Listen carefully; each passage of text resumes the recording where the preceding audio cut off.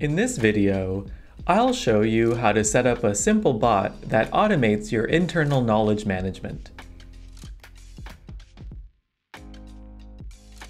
The first thing we need to do is identify which kinds of questions we want our users to be able to ask. For this example, I'm going to give my user three simple categories.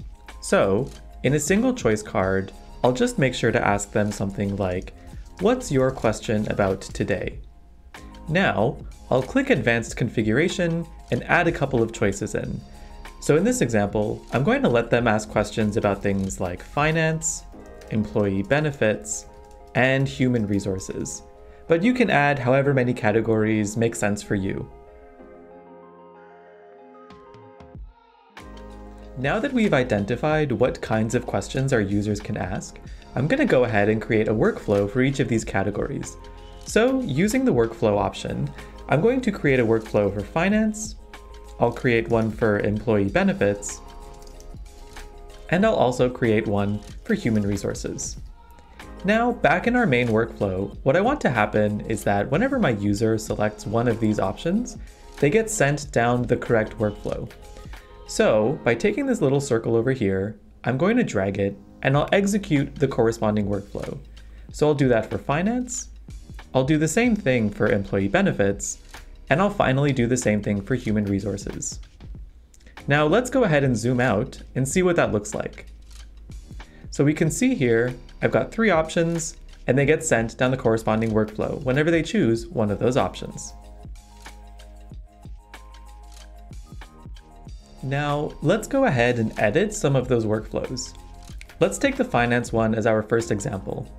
Once our user enters this workflow, I want them to be able to ask a question about something finance related. To do this, I'll use a raw input card and I'll place that in the node here.